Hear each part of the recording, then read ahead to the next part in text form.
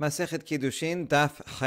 Nowadays, if someone does Kiddushin with a ring, we ask them to get a plain uh, ring um, so that its value is uh, more or less well known. If you use a fancy ring with diamonds, and you never know, people aren't experts in diamonds. Is this worth $500, $5,000, $50,000? You never know. Um, and then that could be a problem because then the uh, uh bride might think it's 5000 and so she's committing herself. Turns out it's only 5 500 says, oh, I wouldn't have committed myself just for 500.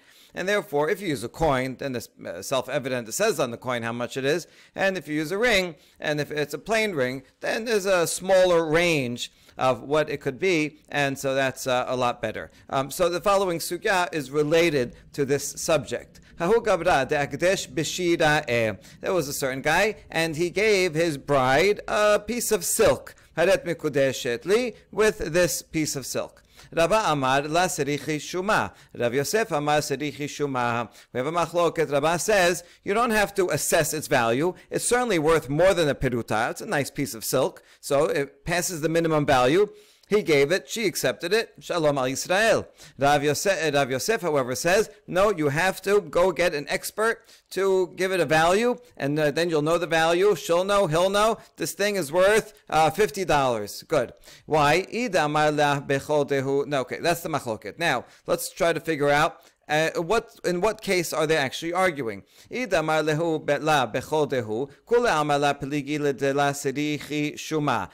he told her with any value of this silk, right, even a minimal value, just one piruta of this silk garment is for the kiddushin, the rest of it is just a gift then everyone would agree that you don't need to assess it because it's certainly worth more than the piruta. So it doesn't matter if it's worth 550 or 500.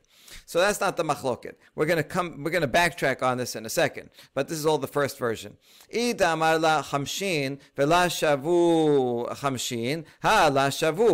the guy said, "Here, hadet mikudeshet to me with this piece of silk that's worth 50 dinar," and it turns out it's only worth 40 dinar, then that's certainly invalid. Also, everyone would agree that that's no good because she that's under under false pretenses her agreement.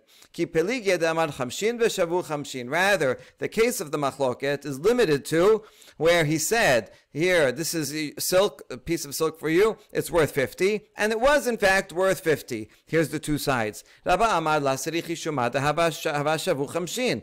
"What's the problem?" He said it's 50.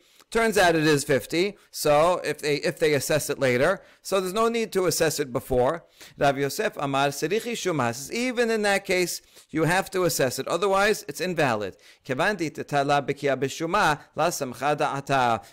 the wife is not an expert in appraising silk. There's different prices for this. So she's not going to rely on his statement that it's worth 50. She didn't think back of her mind. She said, ah, he's probably exaggerating. It's not really worth 50. If it were, were worth 50, yeah, maybe I would, but it's probably not worth 50. So she's not committing herself. So because she doesn't really know and doesn't trust that it's really worth 50, so she's not doing she's not going to commit herself. On the other hand, if you get an expert that comes and says this is worth 50, then she'll believe it. And she'll say, okay, fine, now I, I accept the Kiddushin. Um, so that's why you have to get a, an expert uh, assessment. All right, all that's one version of our understanding of this uh, machloket. Second version, They're also arguing not only when it's uh, worth something, even if it's, uh, uh sorry, not only when uh, he, he says it's 50 and it's worth 50, even if he says, um, with any amount, with a piruta of this garment, and the rest is just a gift, even there the machloket applies. Rav Yosef, uh, uh, so if it's only that, so it would be clear why Rabbah says you don't need shuma, because he said it's just a kol dehu, so we don't have to explain Rabbah. But why would Rav Yosef say that we need an assessment if he's only, if he says explicitly, just with any value. Shave kesef harehu kekesef. Ma kesef tekitz, af shave kesef nami. Uh, because uh, the uh, money is the same as something that's uh, that's uh, worth money, uh, meaning a currency um, has the same law as something anything of value. in in what sense are they similar? Just like currency has a set value. You look on the coin, one dollar coin, five dollar coin says so. I don't know if there is a $5 coin. Uh, a quarter. All right. So it says what it is on it. So too, if you want to do Kiddushin with something that's worth money, fine, you can, but it has to be a clearly defined amount. You have to be, has to have the price tag on it. You need an expert to come and tell you this, this cloth is worth $50. Even if you say, I'm only using a kol dehu of it, just a peduta, nevertheless, it has to be similar to currency. That's Rav Yosef's position. Now, how does Rav Yosef know this? We're going to bring two proofs. Here's the first one. Amar Rav Yosef, Mina amin Allah. How do I know that something that's worth money has to have a fixed value like currency? Tetanya, mikesef miknato, bekesef ve'no nikne bitbu'a ve'chelim. The Braita is quoting the following pasuk, from Vaikra. It's talking about if an, if a Jew is sold to a non-Jew as a slave, and now it's a mitzvah you should try to redeem that Jew. Um, if you uh, uh, when you come to redeem him, you have to calculate the number of years from now until the jubilee and uh, uh, uh, subtract proportionally with the number of years left. And Pasuk says, "Im od, rabot bashanim lefihen yashib geulato mikesef miknato." If there's many years, then you and you want to redeem your family, you have to pay back for the redemption in proportion to the purchase price. So we're going to analyze these two phrases, yashib geulato and mikesef miknato. It does mention money here. So this Braita says, mikesef miknato teaches us that you have to redeem him with money, with currency, and you cannot use other items like grain or vessels. No, that's the Braita. Now Rav Yosef says, let's analyze this Braita. What would be a case where you might think that you could use tibwa and kelim? If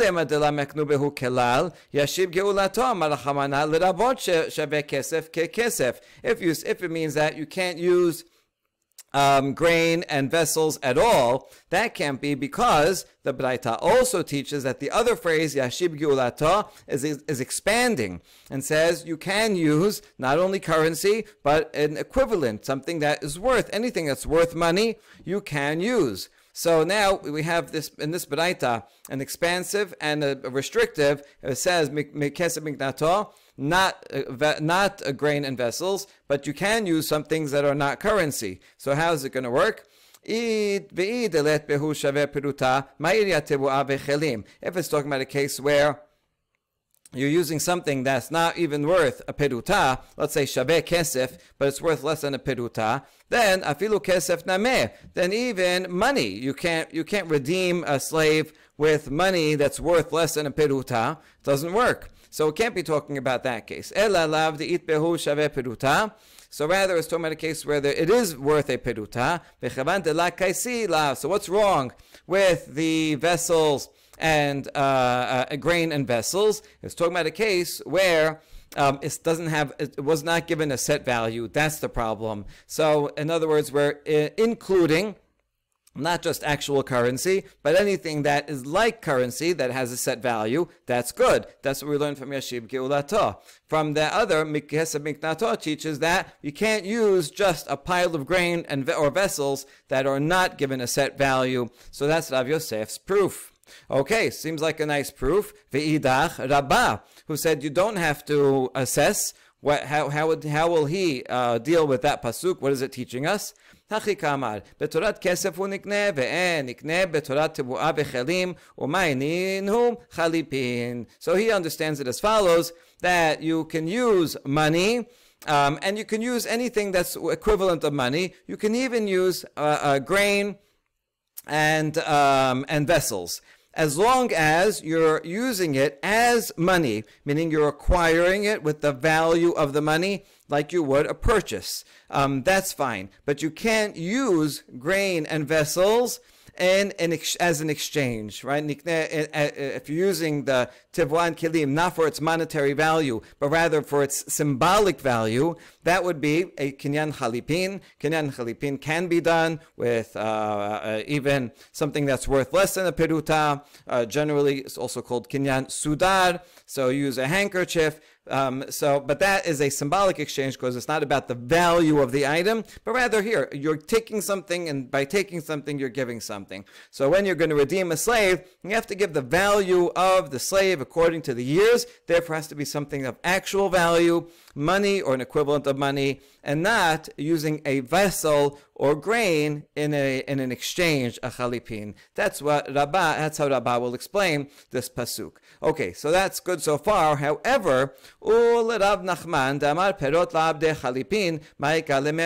There is an opinion about chalipin, about what actually you can use. Certainly, you can use a vessel like uh, a cup or a handkerchief as a vessel. So certainly you can use something like that. But Rav Nachman says you have to use things like that and not produce. You cannot use produce, and of course, so according to that, grain you cannot use for chalipin anyway. So we wouldn't need this pasuk to tell me that you can't use uh, chalipin because it says tibu'ah. If it says tibu'ah, certainly it's the monetary value because chalipin is impossible anyway.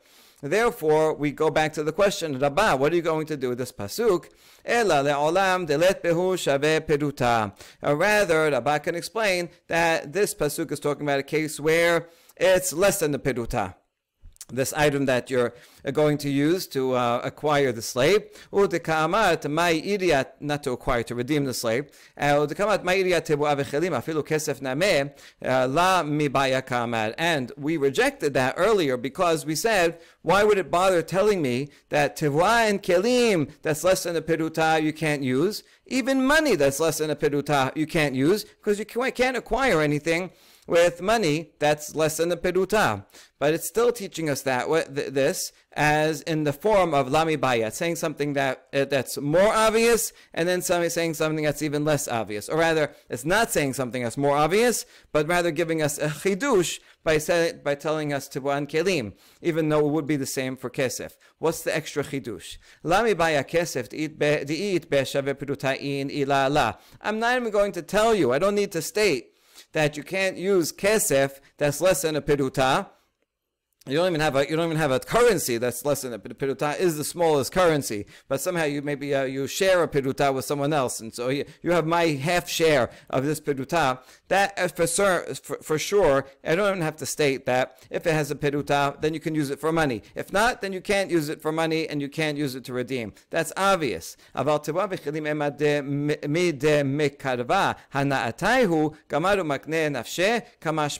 you might have thought that if it's an item like grain, let's say uh, popcorn. That's grain, right? I have a handful of popcorn. How much is that worth? Uh, one cent. Um, so a person would say, one cent, I don't want one cent. It's not, you can't buy anything with that but a handful of popcorn because you can uh, the you can benefit from it right away. So you might have thought that for something that you can use and benefit right away, even though it's less than a peruta, maybe you can effectuate a transaction with an item um, because it's better than money. You can you can uh, appreciate it. You can use it. Um, and so uh, the master who owns the slave would say, "Yeah, okay, fine. I'll, I'll give over the slave." So that's why teach, uh, pasuk has to teach. No, it only works with something that's money, that's worth something, and not grain or or vessels that are worth less than a peruta. So we have an alternate. Uh, Rabbah can answer as an alternate explanation for that pasuk. Okay, good. All that is one proof that Rav Yosef brought, and now he's going to bring, bring a second proof. Again, we're trying to prove that something um, that you're using as shaveh kesef has to be like kesef, and just like kesef has a fixed amount, so too um, any item that you're using uh, for its value, you have to assess with an expert first, and so it has a fixed amount. That and that's why if you're using kiddushin, if you're using silk uh, cloth, cloth or whatever you're using for kiddushin, you have to get an expert assessment. So uh, that's uh, we saw one proof. Here's the second. Amar Rav Yosef. Mina min ala detanya. Aigel ze lepidyon beni talit ze lepidyon beni lo amar kelum. Aigel ze bechamesh shelim lepidyon beni talit zo bechamesh shelim lepidyon beni beno padui. Uh, so someone has to do pidyon haben. The father has to give five shekalim to the kohen. Now, usually today we actually get five coins, and he gives them five coins. But what if you don't do that, and instead you say, "Here's a kef."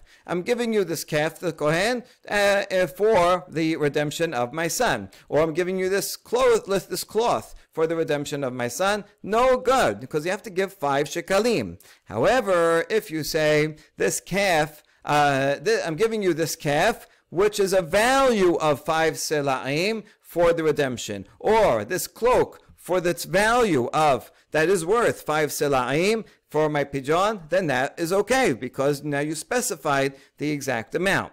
Um, now, hi pidyon hechidame. Let's clarify. What are the circumstances in which this baraita is talking? Ilema de la shave kol kemine. Let's say, let's say this uh, piece of cloth cloth is actually not worth five selaim. So, is it in his power to say, oh, I, I, I declare it to be five selaim? No, obviously not. Eh, rather,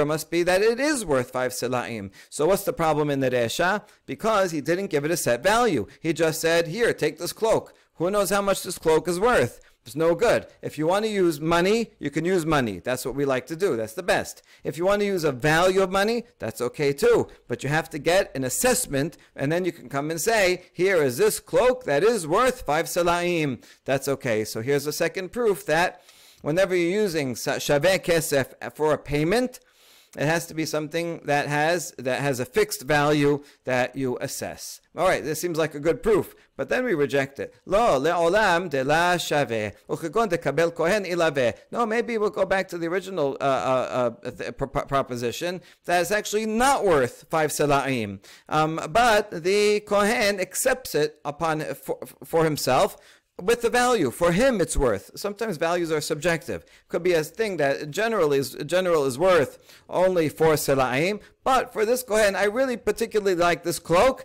I would pay five. כי הד רב כהנא, שכל סודרה מפיג'ון הבן, אמר לה לדידי, חזי לי חמש סלעים. For example, Rav Kahana, he always liked to cover his head with a turban, and so um, he himself, he was a Kohen, Rav Kahana means Kohen, and he uh, uh, accepted a, a, a kerchief for Pidyon Haben, and he said, for me, it's worth, its value is worth five selaim, right? It's worth it to him. Look, after all, in uh, Pidyon Haben today, we take a sela coin that's worth uh, maybe $20, and we, and we auction it off. Uh, sometimes it goes for a thousand or two thousand dollars. It's worth it to that person who bought it who wants to uh, do a, another mitzvah with it. So uh, value is subjective. If it's if it's worth five selaim to that particular person, then it's that kohen, then it's acceptable. Um, Amar Rav Ashi, la amaran ela kegon Rav Kahana. De Gabrada Bahu Umi Ba'ele Sudra Areshe. Rav said, Yeah, I only said this. Um, this this this uh, uh, possibility is only true for someone like Rav Kahana, who is an important person, and he needs a turban on his head all the time. So for him, he would say, "Oh, that's a good one. I want to use that silk uh, piece." Of cloth, uh, and uh, it's worth more to me. But for a regular person, not, they wouldn't buy, they wouldn't pay extra for it. So a regular person, uh, with this form of payment would not work.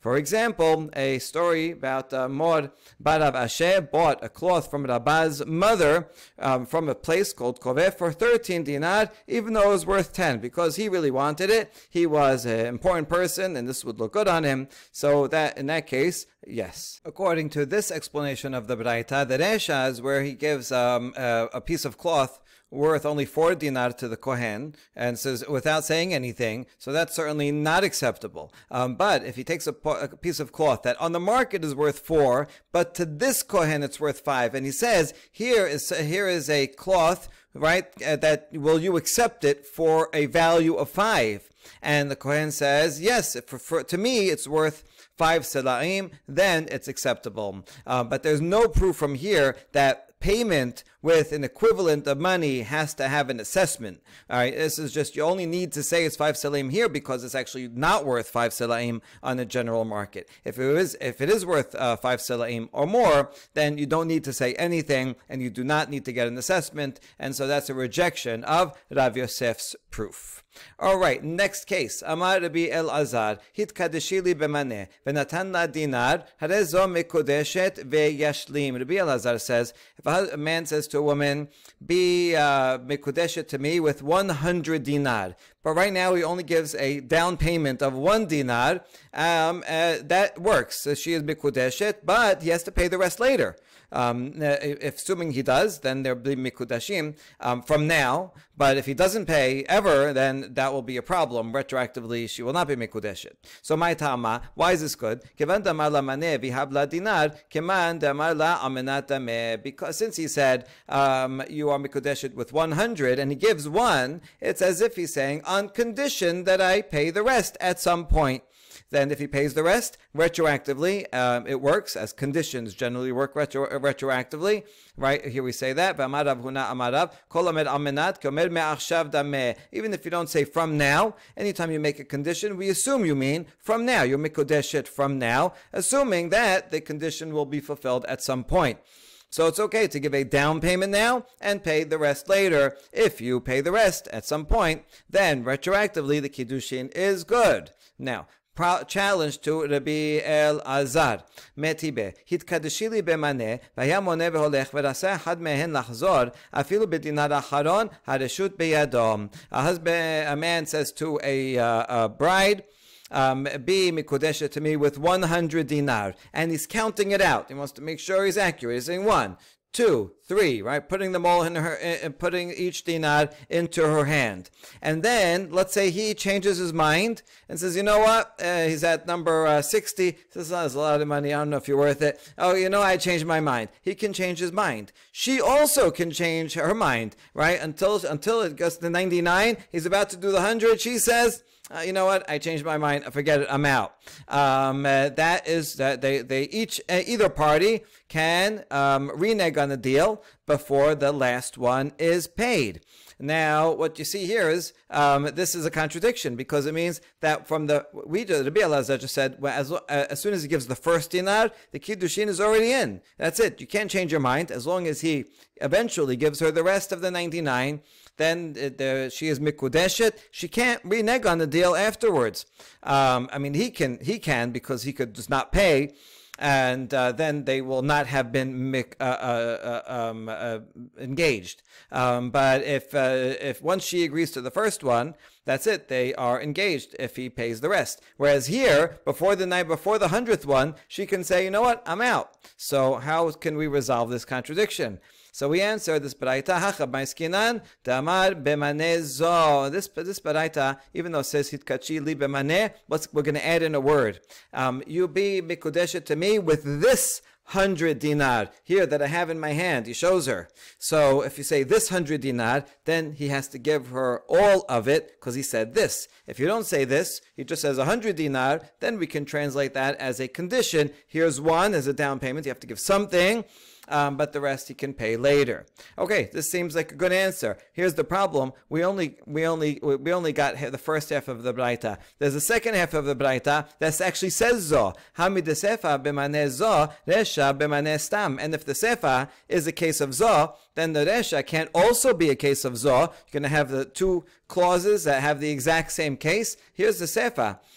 דקה תענה ספא, אמר לה התקדשי לי במנה זו, ונמסר מנה חסר דינר או דינר של נחושת, אינה מקודשת. דינרה הרי זו מקודשת והיא החליף. The sefer says, if the man says, be my wife with this hundred uh, dinar, and turns out that it's only 99, no good. Or one of them, instead of silver, is a copper uh, coin, no good. It's not a hundred. Um, if, however, it's it is a silver dinar, but it's debased. uh, and, uh, uh, uh, coins could get worn out just from the natural use, or sometimes people would chip away a little bit on the coin of the edge, and they could get some silver shavings, and it's still worth it's still worth the same amount because it says on it it's worth a dinar until eventually more and more people keep shaving away, and then it's only a, a, you know smaller than it is, and at some point people will say, you know what, I'm not accepting that. That's why in a lot of coins like quarters today have ridges all along the edge. That way, if somebody shaves it off, they'll say, oh, this is all shaved off. It's not not not the right size. Okay, so if it's a bad coin, then it still is it still is she is mikudeshet because he did give her the coin, but he has to give her a better one because you're not going to be able to use that bad coin in the marketplace. That's the sefa. So since the sefa is a case of Zoh, that means that Esha is not a case of Zoh. And now we have our question again against Rabbi El Azar. Rabbi El Azar says as soon, as you give the first, she is mikudeshet, she can't change her mind. And the, the, the beginning of the Braita says, that she can change her mind until the last one. So we say La Resha Vesefa Damar Bemanezo Uperusheka eh, Mefaresh Rasa Echad Mehena Chazor Afilu Bedinar Acharon Arishut Beyado Kesav Kegon Damar La Bemanezo In fact, I can explain the whole Braita Resha and Sefa are talking about the same case indeed when he says this hundred and the Sefa is explaining the Resha. The Resha says if um, uh, uh, someone, if he says uh, um, then he, anyone can bemanezo. Uh, then anybody can change their mind, even up to the last one. How so? What is the exact case? When he says bemanezo, it's a bit of a difficult explanation because why not say why not say the word zo? But nevertheless, the Gemara is going to double down on this interpretation and says it actually makes sense that it should be this interpretation.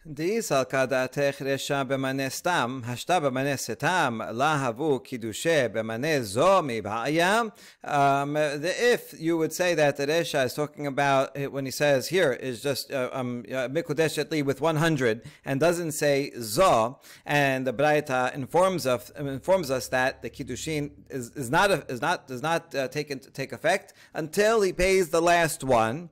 So if that's true when he says stam, then all the more so you wouldn't have to tell me that when he says maneh zo that it's also no good unless he pays all hundred. Right? Maneh zo is a much more um, uh, obvious case. You wouldn't have to say it at all. So it doesn't make sense for the for the baraita to say a less obvious case and then a more obvious case. Rather, um, it makes sense, as we said here, that it's all talking about the same case, manezo, and since this baraita is talking about manezo, it's different than the case of Rabbi El Azar. He, he was talking about mane stam. Well, if you say mane stam, we treat it as a condition, and then once you pay one, the kiddushin goes through. If you say manezo, and this whole baraita is about manezo, then it does not go into effect until you pay the last one. Good. So that's a good answer for Rabbi El Azar. We say, this is, listen, this is not not necessarily the only way to interpret the Braita. If it's because of this consideration here of the structure of the Braita, this would not, it's not, it's not a proof that you have to read the Braita this way because Tana Sefa legaluye resha shelo tomar resha b'mane zo aval b'mane setam havu kiddushin Tana Sefa b'mane zo resha b'mane setam v'afilu hachi la havu kiddushin. It could be that the Sefa is there to teach me how to read the resha because if you only taught one case the resha as as is I would say, oh, the Resha says b'maneh is means manezo. That's what we're talking about. But if it was maneh stam, then it would be kiddushin, like Rabbi Elazar, like Rabbi Azar says. That's why the Braita has to say in the Sefa manezo, so that I, I see the contrast and I'll know that the Resha is not manezo but maneh stam. And even though he just said b'maneh and he didn't say zo, nevertheless the Kiddushin is not effectuated until the la- very last one.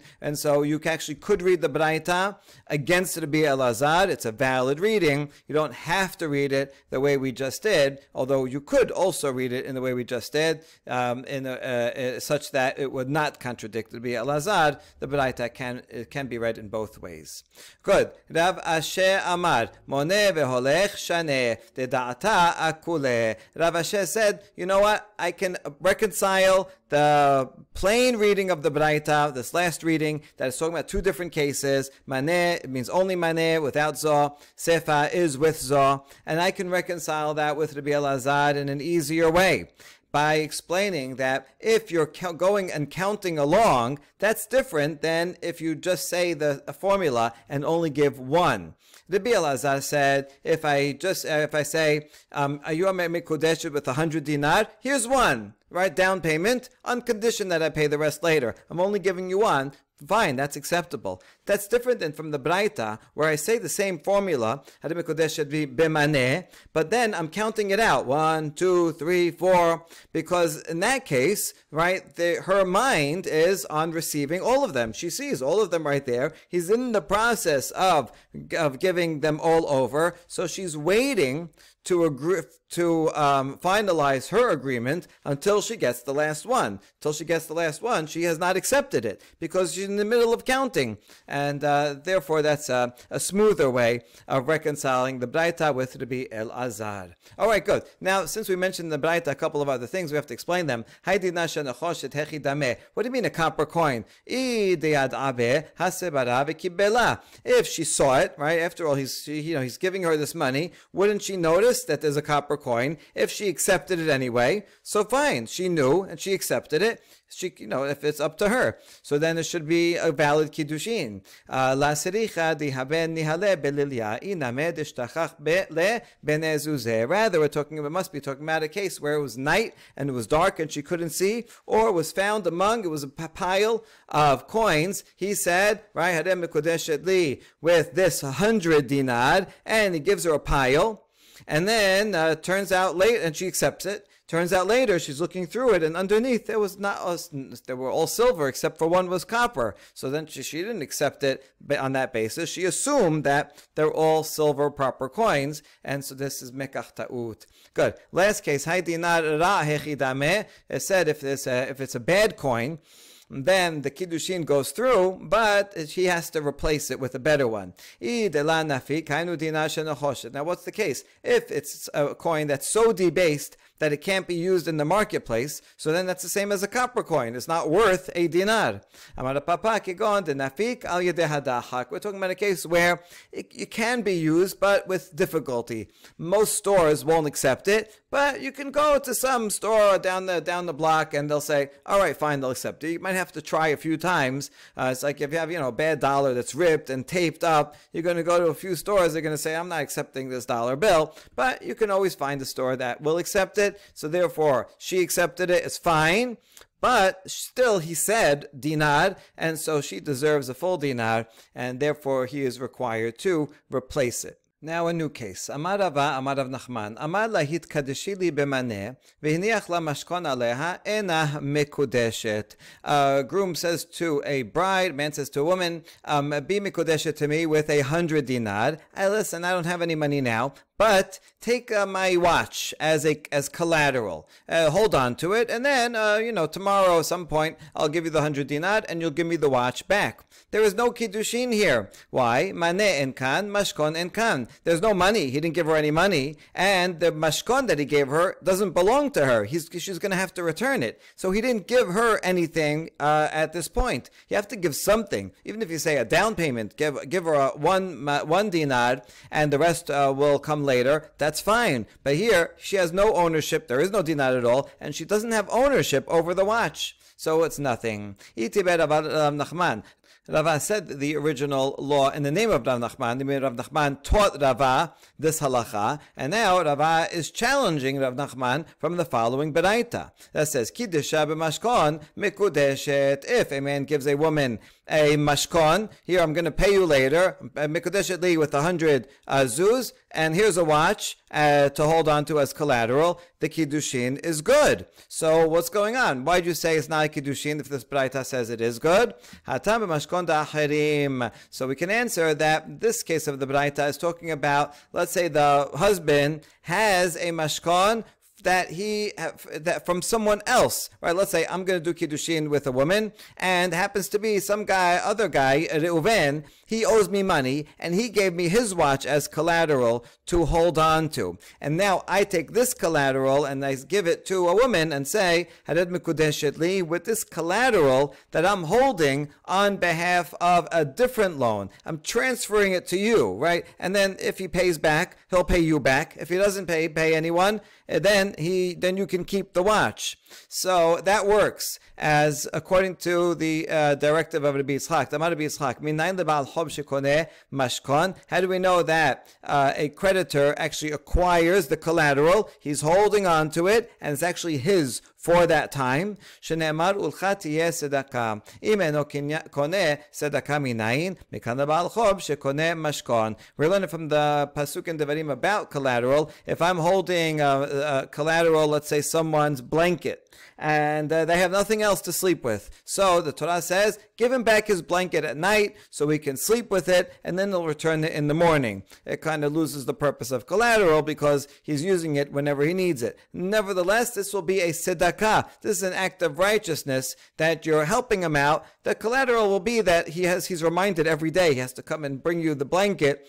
So that's going to be somewhat of a, of a hold on him to pay back. But it's not nice to hold his his uh, bed sheets, his blanket, so he's going to be cold at night. Rather, do a tzedakah. Now, why why do you call it a tzedakah? If I don't, if, I, if it's not mine, why then uh, I'm just I'm not actually giving him something that isn't already his. So that would wouldn't call tzedakah if I'm just if I'm simply giving him something that's already his. It's only tzedakah if it, when he gives me the collateral, it's mine.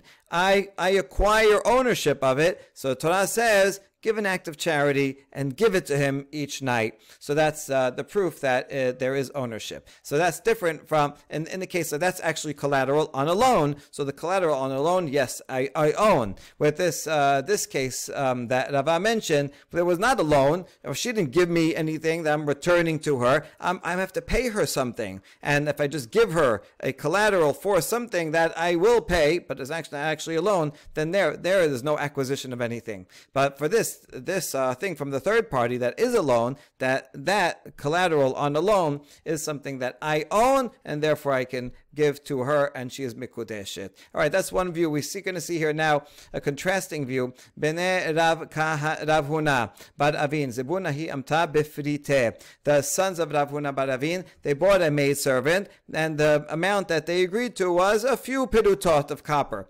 Lahavu be'adayu, but they didn't have uh, change around. They didn't have it. Oti bi nasnascha aleha. So instead, they gave a piece of silver um, as collateral, right? Uh, so, uh, whatever that was worth, we hold on to this, and we're going to get the copper coins later. The sof aikad amta. By time they, uh, by time they came back, the price of the maidservant increased. Maybe she learned a new skill, and now her price went up. Uh, so the um, the seller wants to renege on the deal because now he can get more money for her. So atu lekamed Rabbi Ami, they whether that's allowed. Amar lehu perite en kan nascha en kan, and he said, "Listen, you didn't pay the copper pirutot that you promised yet. So since you didn't pay that." There is no purchase. Um, and also, the uh, silver is not here either because you only gave that to them as collateral for the future payment. And since it's only collateral, collateral is not trans does not is not transferred, is not owned, and so you actually gave them nothing. Since you gave them nothing, the per- you gave the seller nothing. The transaction did not go through, and now the seller can renege on the deal and go get a higher price for the amah.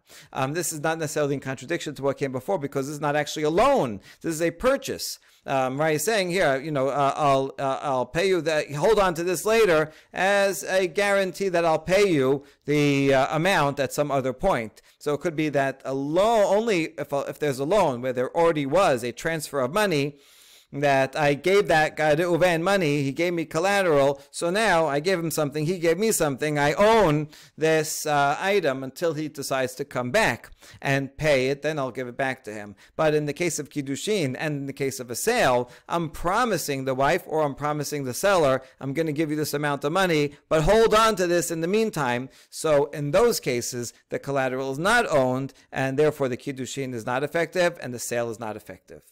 Next, Tenor Banan, hit kodesh li Bemane, Netalatu Uzrakatu Layam, Olaur, Olechol Davar Ha'aved, Enam Mikudeshet. A very important principle in every wedding. The man gives the bride uh, let's say a coin, she has to take it in her hands. She's supposed to close her hands and show she's accepting it, right? She doesn't have to say anything. She doesn't have to say I do or anything, but she has to accept the accept the coin. Um, let's say it falls, you know, it just drops out of her hand, or uh, she, she throws it away, right? He gives her a coin and she says, I don't want this. And she throws it away. There's no kiddushin, right? That shows that she does is not acceptable to her. Okay, so now um, some variations on that case. If uh, he gives her the coin, she takes the coin and immediately throws it into the sea, throws it into the fire, throws it, you know, down off a cliff, any place that it will be destroyed. The kiddushin is no good, right? Uh, so that's the braita. Now we're going to analyze the braita. Wait, uh, you, you're giving me these cases. Is this to mean to imply that, let's say she takes the coin and she throws it back in front of him, right? She throws it back to him then it would be kiddushin. Like, why are you only telling me these cases where it gets destroyed? What about a simpler case that she throws it back to them, uh, back to him? le shekel labaina. Certainly, by throwing it back to him, that's in effect saying, "Take it. I don't want. Uh, I don't want it. I don't want you." So uh, that case should also be included. So the answer is lami bayakama. The the, the Baraita is giving us an even bigger chidush. למי Bayashiditinu שדיתינו Lahabu Kiddushin Abal Zerakatu Layam Ola Or Ema Kevan de Mehayeba Behu Kiddushe Kadish Nafsha Vahadeka Abda Hachi Sabra Ibdeke Lahai Gabra I Rathanahu Ola Kamashmalan. Mm, I could, uh, uh I, the Beraita is giving us a bigger chidush.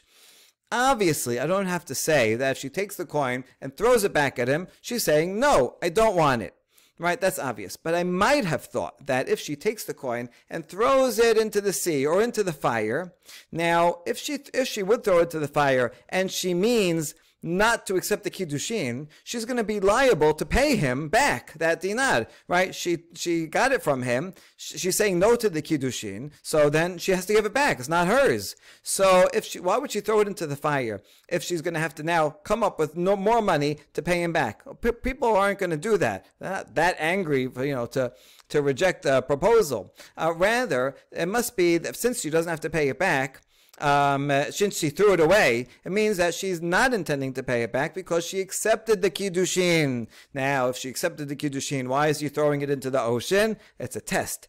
She wants to see if she, her future husband, who she's now committed to, um, uh, let's see if he is uh, has an angry temperament or not. He wants to see her. She wants to see his reaction when she throws it. Is he going to say, "Hey, how dare you do that? Right? You know how much I worked for that. Blah blah blah." Then she's going to say, "Oh, I'm dealing with an angry person." Now, really, she should have done this test before she accepted the kiddushin. But anyway, she wants to know how to deal with him going forward. So um, I might have thought that it would be a good kiddushin, and that's why she's doing it. That's why the Baraita says, even here, no, the kiddushin is no good. Certainly, if she throws it back at him, where she is now, she's now she has no liability because she's giving it back to him. Certainly, there, that's saying no, and there's no kiddushin. Even in the case where she throws into the fire, where now she's going to have to come up with another dinar to pay him, that also is not a kiddushin. That's an act of saying no, and she's throwing into the fire. I guess is very saying a very emphatic no, right? No, not in a million years. Although not in a million years means maybe there's a chance. Okay, so she throws into the fire. Next case, tenor banan hitkadeshili bemane tenem le'aba ul avicha ena mikudeshet. A man says, "Here, be my wife here for this maneh," and she says, give it to my father. Give it to your father. There's no kiddushin here because we assume she's being sarcastic. She's saying, uh, you know, keep it, give it to your father. Forget it, I don't want it. Or even give it to my father. She's just saying, you know, give it to someone else. No good. But if she says, al yikabelum li mikudeshet, if she says, on condition, I will agree to the marriage on condition that you give it to my father or to your father. So if you say, if she says on condition, that sounds like, like it's sincere. On condition, yeah, I want to give it as a gift to my father or to your father. I really like him. Uh, that's fine. Um, uh, so that, that works. But the first one sounds like it's sarcastic, right? Eh, give it to someone else. Now, um, we analyze this braita. Tana abba lehodiacha koach teresha. Tana avicha lehodiacha koach tesefa. How come it says both abba and avicha? It says the the uh, word abba, meaning her father, to show me the strength of the resha. That even though she said, "Give it to my father," in which case it's going to her family. So I might have thought that that means she's serious about it. No, because she says it in that way, we assume that she's being sarcastic, and we say avicha, your father, to show me the strength of the sefa because she says on condition, even though she says on condition of giving it to your father, her father-in-law, uh, which I might think, well, that's not going to her family, it's, uh, so it's not really going to her. It's less likely that she would give a gift to her father-in-law. We say no, but if you said almenat, then that means she's serious and oh, she likes her husband. She probably likes her father-in-law, so she wants to give it as a gift. That's okay. Um, okay, so these cases work. Uh, again, these cases are different from the one that we said yesterday, where um, she initiates and says, right, uh, I will be mikudeshet to you if you give um, something to uh, my friend or another person. That case works because that she she came up with the idea uh, in the first place. Whereas here, he's saying, here's a maneh, and she says, give it to Abba. Then we have to analyze if she's sarcastic or not. Now, um, next case, Hitkadshi li b'maneh, tenem ena mikudeshet. He says, be mikudeshet to me with a maneh, and she says, give it to, not not one of the fathers, but give it to so-and-so. No good, not a kiddushin. Because we assume here also, she's saying, no, give it to someone else, maybe her, uh, her, friend, right? Don't give it to me, give it to uh, Rivka right? Go go marry her. I'm I'm saying no. But if she says Amenachi kabel mikudeshet, if she's on condition that she accepts it on my behalf, then that's okay. That is possible. Now, usricha, I need uh, both of these cases of, of the father and of a friend, even though they're the same halacha in both. If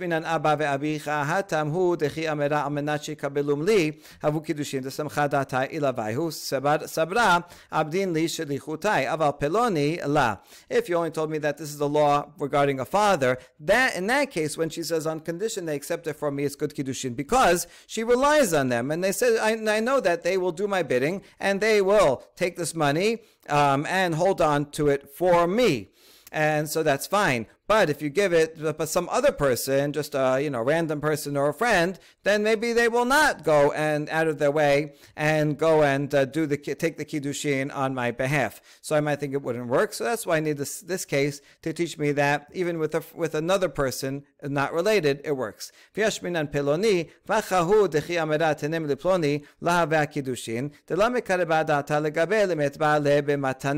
If I only had the case of a friend, then I would say that the first clause of give it to that person is not kiddushin because that person is not related to her. Um, and so she would not want to just give it as a random gift to a random person. And that's why it's not Kiddushin. She, so therefore she means, ah, give it to someone else. I don't want it.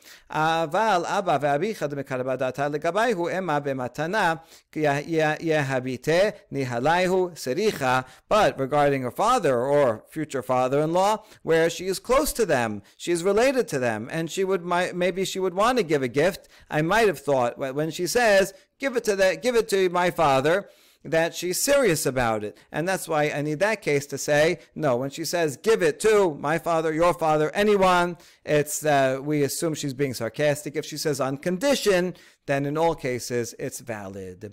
And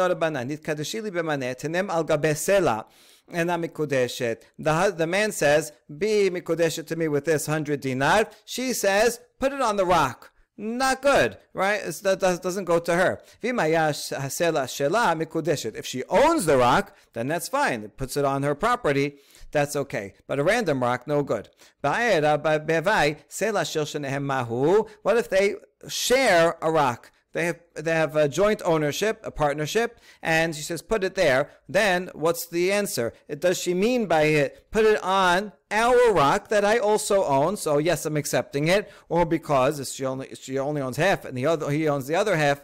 She's she is in fact saying put it on our rock that you have half, meaning keep it. I don't want, uh, I, I reject the Kiddushin. Teiku, we don't know the answer. Bechikar. Tenehu lekeleb. He says, here, be mikudeshet to me with this loaf of bread. She says, give it to the dog. That's, that's uh, degrading. That's a way of saying no. I don't want it. Go feed it to go feed it to a dog. But if she owns the dog, that's her pet. Then it says, "Oh, feed it to my dog." That's fine. I'm not hungry right now, but it looks like the dog looks like he likes his bread so then that's fine because uh, that's showing that she wants it. She's getting benefit from it. Now, what if there's a dog running after her, a wild dog chasing her, and he, while during this mad dog chase, she's running down the block, he says, Be my wife. Hitkadashili with this kikar. Uh, and, uh, and she says, throw it to the dog to distract him. Now, what do we say there? On the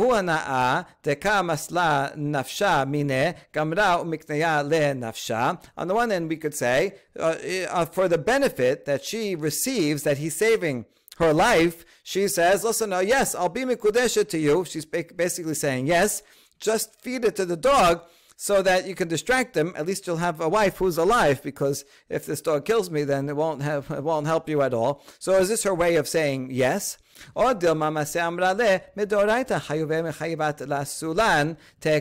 she can say after, listen, if on the doraita level, right? Uh, you had a you had a uh, obligation to save my life anyway. Um, and therefore, this is no benefit that you gave me. You didn't do me a favor by giving the bread to the dog, right? I was saying, help, right? Give the bread to the dog. I was just saying that help save my life. I wasn't agreeing to marry you. You had to do that anyway. That's the two sides. Fantastic case. Uh, and we continue, continue to debate that case. Last case. Hitkadashili bechikar tenehu le'ani. A husband, a man says, here, be my wife for this uh, loaf of bread. She says, give it to that poor person. And That's her way of saying no. Even if it's a poor person that relies on her. This poor person comes every day to get some food from her. That's not mikudeshet. Why? My ta'ama amrale hechi demechayavna be'ana hachi mechayavt be'at. Because she can say to him, just as I, I am obligated to help the poor person, so are you. Just because I regularly help him doesn't make you any less responsible for helping. People think that a lot. Oh, this person is being taken care of already by someone else. I, am I'm exempt. No, everybody has an equal obligation to help that poor person. So when she said, uh, uh, listen, take this bread, give it to the poor person, that's her way of saying, no, I don't want kiddushin, but if you, you know, if you, um, you do have an extra, pe- uh, extra loaf of bread, be a good idea. You're obligated. Give it to that poor person. And he can say, um, oh, well, I was feeding him on behalf of you. You were going to feed him. So instead, you get benefit by. Um, uh, by me giving the poor person the bread, she could say, "No, that doesn't doesn't work like that. I, I like to help him, but if you gave him uh, uh, the bread yourself, then you fulfilled your own obligation to help a poor person." Baruch Adonai Leolam. Amen. Amen.